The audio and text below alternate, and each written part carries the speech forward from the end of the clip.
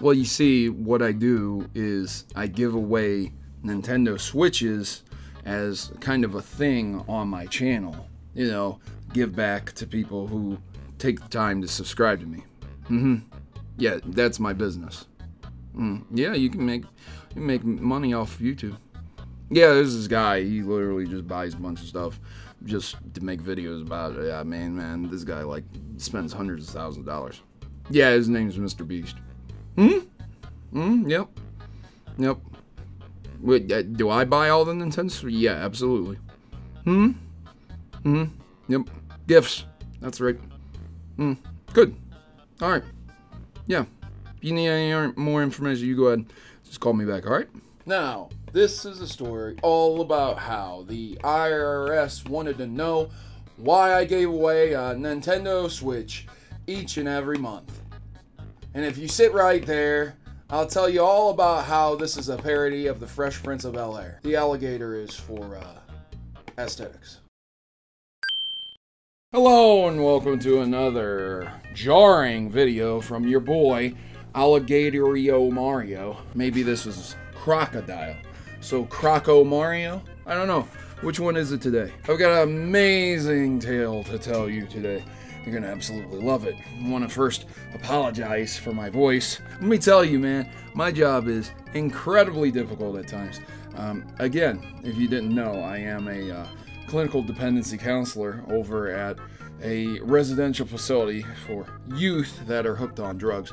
And in doing so, sometimes uh, there's some motivation that needs to be done to get things moving. So I've lost my voice because I talk a lot. Anyways, this guy here is going to help explain how I uh, was contacted by the IRS. You might be saying to yourself, wow, Proto, what you mean, man? You mean like IRS IRS? You mean like Yoshi's tax fraud IRS? Yeah, IRS, boys. Now you might be saying to yourself, okay, is this over fraud? Who is it? What is this? DSP Gaming? What what are you doing? Begging for some tax money so you don't lose your house? Your extra condo? No. no. And if anyone doesn't get that joke, just search up DSP taxes and you'll find out all about it. Long story short, IRS were curious why I had given away 15 Nintendo Switches. See, when you do your taxes, you might not be aware of this, but when you do your taxes, what ends up happening is that there are categories for things. Like if you have a business, you do separate taxes than if you were just employed by someone. And in those categories, you can give away gifts, right? It makes a lot of sense. So when you buy something, it becomes a write off. And there's different procedures under which category it falls under that that write off will be put under. You have to forgive me for kind of the crude videography style here, but I, am just handy camming it to just kind of give you uh, an image of what could be write offable by taxes. Not exactly the most fun subject, but interesting all the same. So if I were to buy a video game console or be sent some type of video game console by a company and I had to spend any type of money on it, I could end up writing it off as a tax expenditure because I need this stuff to do my job. So let's say I went out and bought the SNES Classic here. You know, what would end up happening is they would say, okay, did you use that for advertising? Did you use that to work with your job? And I would say, yeah, you know, I had to review it. I had to talk about it. I mentioned it in my video, so it's useful to my job and it's a write off. The differences are when, say, I bought an NES Classic and I want to give the NES Classic away. So then that becomes a gift and that becomes a, a different tax bracket altogether. So I can't just be giving away everything I have. There's a limitation, there's a cap. You can't just continuously gift things away because then that could be abused. But the same token, the stuff that you actually purchase and use for the company, again, can't just continuously purchase stuff. Say you're using use it one time and then use it for yourself for the rest of the time. That's abusing the system. So computers and office stuff like chairs and things like that, all of that stuff falls under an entirely different bracket because there is degradation involved where over time, this object is not as useful as it once was, therefore, the value is decreased than what it originally was. So, those are completely different as well. So, but, you know, it's way better to continuously buy new things if you're having a negative tax year. Say you're just making tons of money, tons of money, tons of money. You got to get rid of this money. Buy yourself a new computer. $2,000 new computer, nice fat write off. You get about five, six hundred dollars back from that. So that's really good. Art falls under a whole different thing. Again, this whole space in here, this whole office space is considered taxable because this is what I do business at. From everything in here can be used for a business expense because I'm showing it currently on a video and you can see it's measurements, its dimensions, and then when you claim that on taxes, you can get that back. So, again, not the most exciting subject, but when we're talking about doing giveaways for things, which I currently do, I'm pretty sure currently on Patreon, I have one of these as a potential prize for a winner in a giveaway, which is just absolutely awesome, man. I, I love to do it. I love to give back to my fans.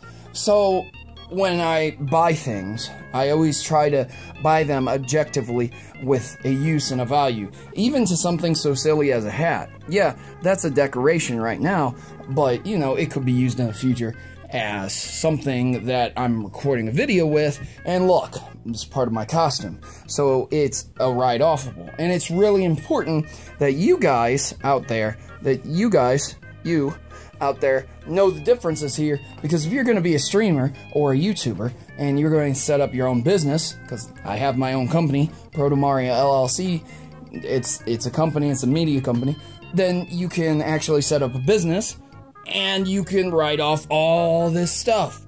So instead of going broke and never having any money and always spending money on video games and this, that, and the other, you're not doing that. You're able to write it all off. So again, I apologize for the crude video style here. I apologize for my voice. Again, I'm having issues. I'm about to lose my voice, but I thought it was important to make this video. So what do you guys think? You go ahead and uh, let me know. I'm going to go ahead and jump into the rest of the video. Uh, 250 to 300 dollar write-offs consistently over and over again the same exact one seems to frock a list off check a list off where they just ask you something so i wasn't like pulled into some government office in a room with no pictures or anything with some guy in a suit grilling me over it. It was just literally a phone call asking me about a few of my purchases. I find it incredibly funny that the Nintendo Switch one was one of the top ones because this guy seems to have uh, done some of his homework on it and he knew exactly what it was. He didn't make mention that he had a kid or anything. He said he had looked it up and it was some type of game console. So it's quite funny that they were kind of looking at me leeriously like, why are you buying 15 Nintendo Switches a year just to give them away? Like they were thinking I was like laundering money or something or investing money in something. I don't know. Because there's ways that you can do stuff like that. Like if you're, uh, if you're doing some hilarious stuff, right? You're doing some not so good things, you can go and buy a bunch of big ticket items and then return them and get fresh money if it makes sense. I don't want to give any ideas to anyone, but you know, um, money makes the world go round. That's how people work. So after that wonderful conversation, they just let it be, and and that's that. I mean, there's not really anything super exciting about it, other than the fact that I have really never been contacted by the IRS except for one other time, and there was just a verification discrepancy that they wanted me to do. I've had to go and speak to the IRS personally myself for college and dealing with college funds and loans and things like that. Just never anything with a video game console. Pretty crazy, huh? Have you guys ever had to deal with the US government before? And if so, what were the circumstances? You let me know in the comments down below. I would love to hear your feedback on this. And uh, Croco Mario is signing out, so uh, I don't know what I should do with this bad boy, but uh, I mean, he's a he's a real snapper. He's gonna snap back. You guys have any ideas? Should him and Sharko Mario have a duet, uh, a duel of the ages, an unstoppable object meeting an immovable force? Or did I have that backwards? Well, you can leave that in the comments too, anyways. I'll see you guys in the next one. I really appreciate it if you click subscribe. And my friend here would really like it if you click that like button and share the video. I mean, you can turn alerts on, you can follow me on Twitter, Discord, all the social medias, and of course, support me on Patreon to win some of those Nintendo Switches and other game consoles I give away. Uh, let's have the IRS call me a bunch of times. I wonder if Mr. Beast has to deal with this stuff. Yeah, yeah, probably. Alright, I'll see you guys in the next video. Thanks for watching. As always, good gaming, God bless, and croc out.